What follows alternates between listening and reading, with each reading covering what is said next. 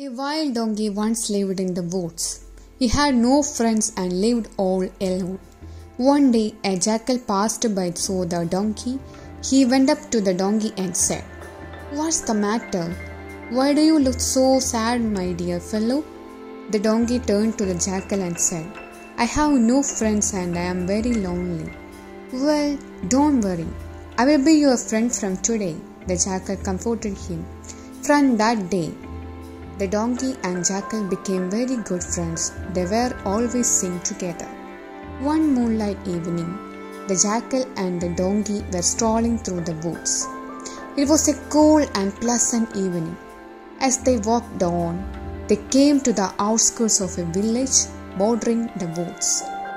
There in front of them was a grove of fruit trees. Ah, look how wonderful and delicious the fruits look, said the donkey. Let's eat some of them.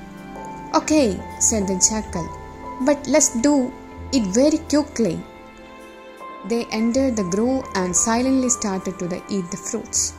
After eating enough, they lay under a tree happy and content. That was delicious, but there is something missing tonight, said the donkey. What's that? asked the jackal. Why music, of course? answered the donkey. Looking a little surprised, the jackal asked, Where are we going to get music from? The donkey said, Don't you know that I am an accomplished singer? The jackal was alarmed.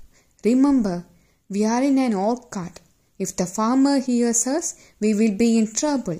If you want to sing, let us go away from here, he advised the donkey. You think I can't sing, don't you?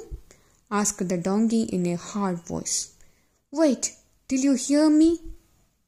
The jackal realized that the donkey was not willing to take his good advice.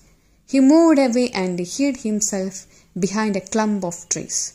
The donkey threw back his head and started his song.